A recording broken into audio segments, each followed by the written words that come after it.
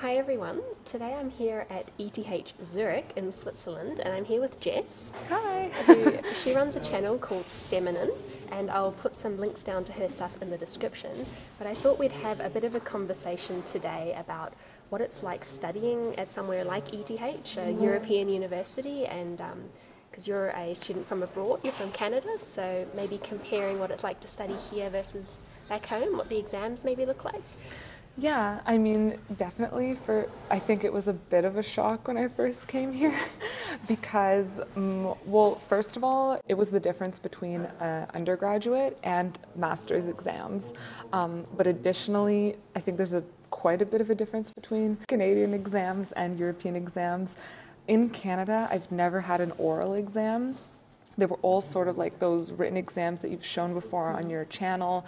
For example, the MIT exam that you've shown on your channel, they're all pretty similar. You know, three pr- or six problems solved in three hours. So you, I didn't say, but you're a mechanical engineer. Oh yes. so your master's was that in mechanical engineering? Yeah. So my master's was in mechanical engineering with a concentration in aerospace. So yeah, all of my classes were, mm. yeah, just typical mechanical. yeah. Engineering with additional aerospace classes. And I would say only a few of my exams have been those type of written exams, but most of them have been oral exams, which are I, that, that's sort of foreign to me. So I like did my undergrad in Australia, New Zealand, and yeah, written exams are pretty much all I've ever done. I've done one oral exam for electronics, but okay. I've never had to actually really explain physics. What is an oral exam? Like, how, how are you tested on just what? It's like an interview? Is that what happens? Yeah, so basically it's 30 minutes, and the prof, and there's usually two or three profs there. So one person is scribing down what you're writing, and then the prof is kind of grilling you. Mm-hmm. and what happens is that yeah, so you come in by yourself, and when they're telling you to study for the exam, they're always telling you to like, we're not there to see what you don't know. We're there to see how much you do know. Mm. And that's a lie. They're definitely there to find out what part of the course you don't know. So, for example, in any course, you have um, what, 10 different chapters of things that you need to know. And then, generally, on your engineering exams, on your written exams, you have um, six questions that will sort of cover everything in that mm-hmm. exam. And what I found with oral exams is that the prof kind of has those six questions on their paper, but they'll ask you three of them. And then if you're good at answering those first three, then they'll start asking yeah. you the other three.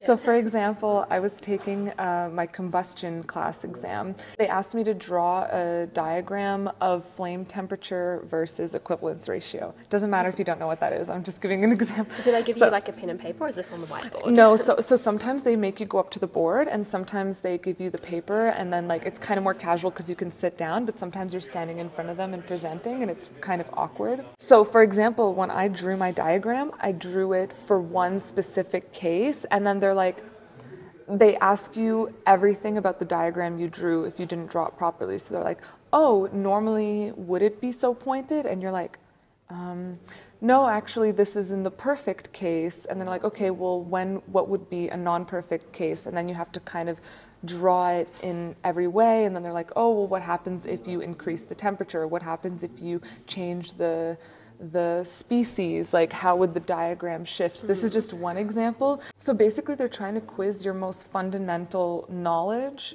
um, of a specific question. So even if you answer it perfectly on a written exam, it's not the same because if you answer it perfectly in an oral exam, they'll be like, okay, but, and then they'll just keep asking you additional questions. They like kind of find where your knowledge breaks down. Exactly. Yeah. So they will kind of just keep asking you questions until you start to stutter, mm. which is fine because sometimes, so the grades, the way it works is that a four is a fail and a mm. six is a perfect. So anywhere in between, your grade can lie as long. So if you answer that first question, you're at a four. And then the more they keep asking you and the more knowledge that they keep trying to get from you and like okay but okay but okay but yeah. your grade will kind of increase the more of those questions yeah. that you can answer I think it, it mm. sounds actually similar to the one oral exam I've had um, where it was like yeah, it was like nerve wracking because you know that the more questions they ask, you're eventually going to get to a point where you're just floundering, and that's sort of embarrassing. But on a written exam, you can just put your answer and just like, yeah, you don't have to justify it that much. But um, I remember like I was being asked questions and I was like drawing how a circuit would work, and he was like asking me, oh, like, uh, what would change if we like changed this component to a capacitor? And I'd be like, oh, it would like maybe the voltage would go up question mark looking at him judging his facial expressions or and then he'd be like hmm, down down yeah. trying to like read it like that but um, yeah I, I think maybe you just shouldn't be so scared of reaching that point where it breaks down because to have gotten to that point anyway, you've probably done all right. Yeah. It, yeah, that's exactly it. So they sort of have these base questions where they'll be like, do they know the most basic knowledge about this course? Mm. And then once you've answered those questions, you kind of get a four, which is a pass, and then after that, they they ask you to mm. um, build off of that knowledge and just kind of push you as far as they possibly can to see if you mm. can reach a six. Right. Um, so, do you have any stories of like actual oral exams that really you remember? Yeah, I mean, I was going into my turbulence modeling exam once, and I was absolutely terrified for this exam because there was so much material, and I was, t- I was honestly like he could ask anything, and my fundamental knowledge can break down if you just at any if, point. yeah, so I was terrified of this exam. I ended up passing. I actually did quite well on the exam, but before I went in, the person before me came out of the exam and I'm sitting there like looking over my notes, like really nervous, like almost about to throw up. And this guy comes out of the exam very calmly, closes the door, starts walking away, and just like go like screams the F word. and it echoed through the entire hall. And I was like, like like started hyperventilating. I'm like, I'm like, it's okay, it's okay, it's okay. You're gonna pass. You're gonna pass. That's you're gonna exactly pass. what you want to hear. yeah. I got so scared, and then I went inside. This was definitely the most stressful exam I've ever written in my life. They gave me um, 15 minutes, so the exam is 30 minutes. They gave me 15 minutes to go through and kind of. It was it was a written exam, kind of. They had written questions, and there was I think six pages and about five questions on each page. Okay. and they gave me 15 minutes to you don't have to write the answers down you just kind of have to write like draw a diagram or like write some keywords okay. and then in the last 15 minutes you go and you present your explanations. And they would be like why did you write down this word? And i would be like that's because and then i would relate that to the answer. Okay. so some of my answers were actually blank. And in that last 50 like if i didn't have time to write it i'd be like i know the answer to that question. It's actually blah blah blah blah blah. Mm. I could see how the other guy did terrible. 15 minutes doesn't sound like a very long time. No, it, it, was it was honestly the most. And after this exam, it was my last exam of my master's, and I was like, I definitely feel like I deserve this degree. I'm so, what did you do when you left that exam? Did you give a reaction to the next person waiting? And, no, there was no one no, waiting after me, but it was more of like okay, I'm gonna go get hmm. myself some ice yeah. cream. Well, at least you like sort of left knowing maybe someone else found it hard too. I think it's like really bad if you leave an exam and you're like talking to your friends and they're like aced it. yeah, no, that's that's the worst. I mean, I'm I'm happy that guy didn't come up to me afterwards. I mean, I would have definitely been like, yeah, that was hard, but I don't think I failed. Yeah. Okay, so yeah. oral exams are something that are quite common here at ETH. Yeah, yeah so especially in the masters. Okay. I'm not quite sure about the bachelors. Mm. Mm-hmm. What what else? Like, so you have those alongside normal written exams. Yeah. Uh, how would you say like the written exams here compare to those back home in Canada? Like, I think in Canada, for me, it was quite different, difficult because at least in Canada. Um, I was I was used to it, so mm. I could sort of every exam I could sort of expect that there would be six questions, and I would have 30 minutes to answer each problem, mm. and depending on how much time we dedicated in the class, I knew that there's probably going to be an exa- a question on I don't know steam tables in my thermal class, or there's probably going to be a question on whatever. You could sort of guess. And I think the hardest part of just starting the master's here was that I couldn't guess anymore what was going to be on the exam. Yeah. And also, they weren't those typical six question um, exams. It was kind of like I opened the exam and there were 15 questions, and then I was like, okay, well now now I don't know how much time to, get dedicate, and I don't know how much they want. Like they definitely don't want 30 minutes of answer anymore. But then, yeah, I don't know. It's really difficult to explain. Yeah, so um, it sounds like most of the difficulty came in the fact that it was just not what you were used to. Yeah. Yeah, so I, I guess that's going to be difficult all the time if you're like, you're used to how it works in one system. If Mm-hmm. you're studying abroad, you just need to get used to how it works in the new system. Exactly. Maybe they're not necessarily harder or easier, it's just different. Um, are the exams in English here? Yeah, for the masters they are. And uh, to your point that you were saying that it's hard to get used to it, I think it's easier to get used to the oral exams here because you do a lot more of them than the written exams. And the written exams are kind of yeah, they're really different for whatever whatever class you take. All right, so we've spoken a little bit about you know how maybe exams in Europe are a little bit different. Um, So if someone's coming from say somewhere like Canada, North America, just outside of Europe, how would they sort of prepare for exams here? How would you recommend someone studies for a European exam? Mm-hmm.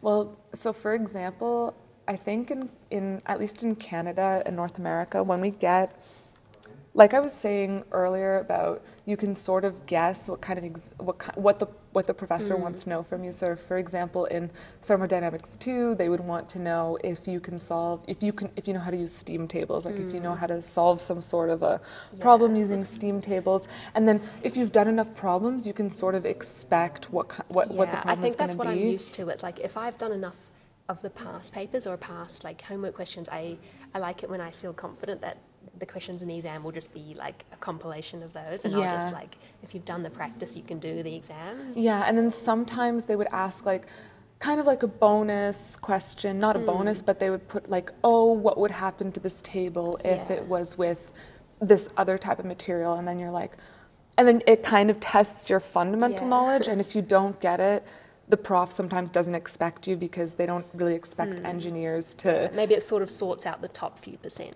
yeah, e- exactly. Whereas here, it's absolutely fundamental to know your fundamentals. like, I would suggest that if you were studying for one of these exams, you really, like, maybe if you go through a question, you have to be like, okay, but why? And then you try to answer, okay, but why? And then you just mm. keep trying to answer it until you break mm. down to, yeah, I have no mm, idea. So it's like actually the bigger picture of the idea. Yeah, it, it's really down to like I don't you you're a physicist. Do you do a lot of entropy stuff? Like have you I've had done to? a bit of introvert, yeah. yeah. So I, I I know that in my um, bachelor's we kind of knew of entropy, but we we sort of just knew how to use the equations, but we didn't Yeah. really understand it. And the, our professors always made this joke that yeah, if you don't under, you only understand thermodynamics once you know that you don't know thermodynamics. Um, whereas here, I would say that it's more of I think entropy is a good example because it's sort of this this thing where like you can use without really knowing what it is. But here they would expect you to really understand the fundamentals, Yeah. which if you know anything about entropy, you know it's a really difficult concept to grasp, and it goes back to like um, quantum quantum uh, physics, basically. And I, I feel a little bit conflicted about that because, like, in one way, if I'm thinking about education as a whole and my ideal view of education, it's like, yeah, we should know the fundamentals, we should test the fundamentals, and we should have people graduating from courses with deep understandings of these mm-hmm. concepts that they're claiming to know about, rather than just being able to use a couple of equations. yeah.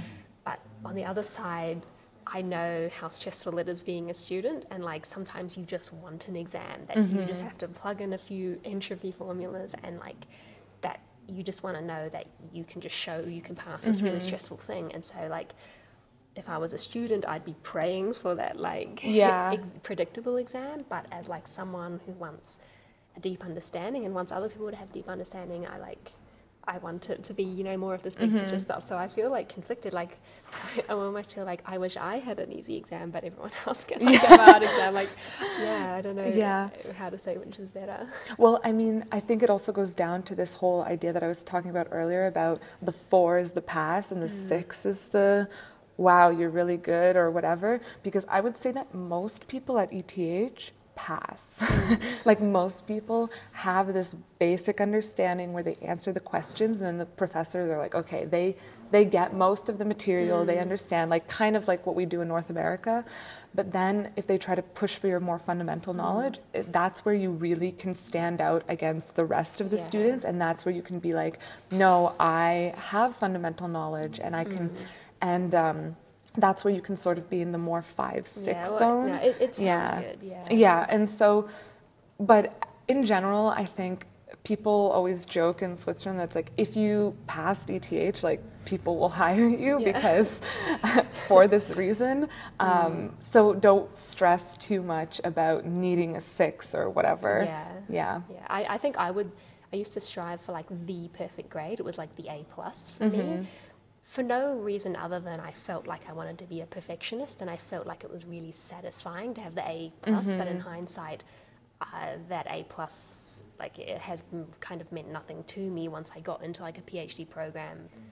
I don't care about those grades anymore, and they caused me so much stress and so Yeah. much anxiety. So, yeah, yeah and i mean it, it, like you were saying it's nice to have those it's nice to want to strive for a six but don't beat yourself up if you don't get it. I mean i don't think i have a six in any of my classes. I have one 5.75 uh, which is the best grade i have and other ones are like 5.5 or 5.25 or 5 and um, I, there have definitely been times where i felt like i commu- communicated really perfectly and I deserved a six and I didn't get one. And you know, you can't beat yourself up for it. Just do your best and don't worry about the mm, rest. I think that's good. All right. Well, thank you, Jess. Yeah, and I think you. we're going to film a video for your channel next. Yes. So you guys can go and check that out if you're interested in learning more. And thanks for watching. Thanks for watching.